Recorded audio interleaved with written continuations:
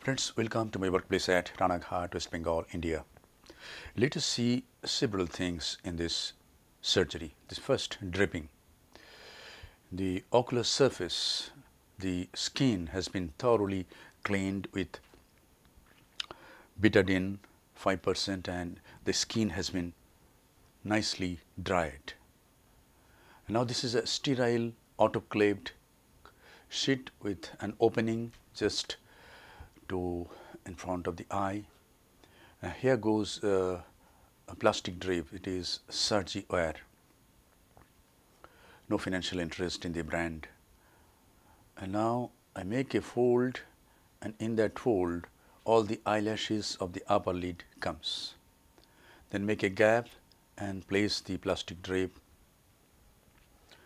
And now all the eyelashes are included in the fold and this has been done over a sterile cloth.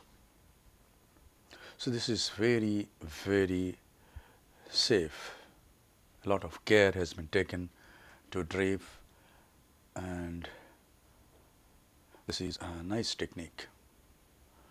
And now the speculum, wire speculum has been applied and this is a running wash with povidone iodine 5 percent. Povidone iodine has been applied just after peribulbar block or in the preparation room without block also we apply keep it for 3 minutes and then wash it off with antibiotic eye drops. And now let us see this surgery. This is a grade 2 nuclear sclerosis cataract. The main incision has been made on the posterior aspect of the limbus. Some capillaries are included and some oozing of blood is there. Now, 3 clock hours away from the main wound, this is a side port. Now, capsulorhexis is to be done. I use a Utrata forceps. I learned this from Dr. Neto Rosatelli using the Utrata only for doing capsulorhexis. Initially, I used to get a capsular tag with uh, 26 gauge cystitome. Then I used to use these Utrata forceps. Nowadays, most of the cases it can be used directly except in children, except in very weak geniole where the capsule cannot be pierced with this almost blunt tip of the Utrata forceps. Hydrodissection has been done, the nucleus has been rotated, visco is injected to fill up the anterior chamber and now here goes the pre-chopper. Just in front of the rhexis, in front of the main wound and the sustainer from opposite side and the nucleus in no time is divided into three fragments. Two heminuclei and one heminucleus is divided into two pieces. And now I go with the phaco handpiece, bevel down. The left hand instrument is a sustainer. This is a Neto type of instrument, Neto chop, chopper kind of instrument. But Dr. Neto uses longer tip about 2.25 millimeter. This is only 1.5 millimeter.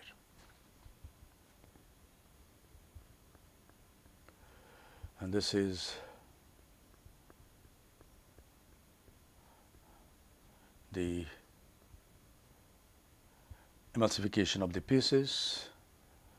See the heminucleus. It is with this Neto kind of chopper, how easy it is to go, go behind the heminucleus and easily divide it into two fragments. Ultrasonic energy used in this case is about 40 percent, flow rate is 4, uh, 40 ml per minute and vacuum is 400 millimeter of mercury. And now I am removing the left side of the cortex by the handpiece itself. Yes, this mass has been removed. And now I am going to use Dr. Ashish Shapkal's hybrid IA. In hybrid IA, the aspiration port is capped like this.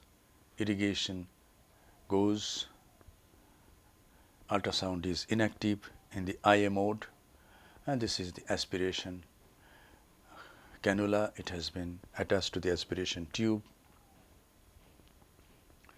Now irrigation goes through the main wound and aspiration through the side port.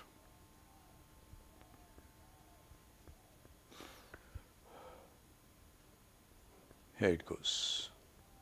Irrigation goes through the main wound, aspiration through the side port and emulsified, uh, sorry, and aspirated.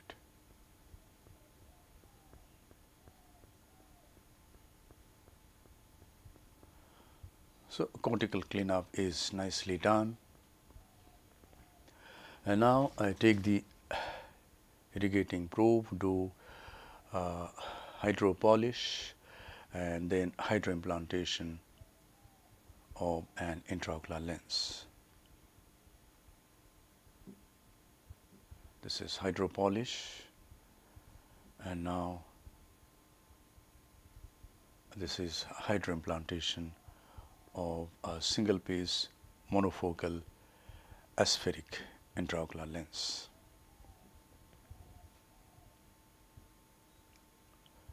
But this is a hydrophilic lens. Gradually we should go to hydrophobic lenses, but some patients economic uh, condition is such that they cannot afford the uh, hydrophobic lenses. So, this patient will need YAG laser maybe after 6 months or on year YAG laser capsulotomy.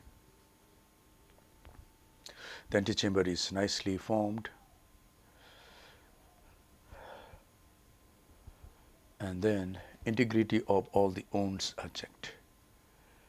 Note that I didn't hydrate the main wound. Without hydration, it is nicely sealed.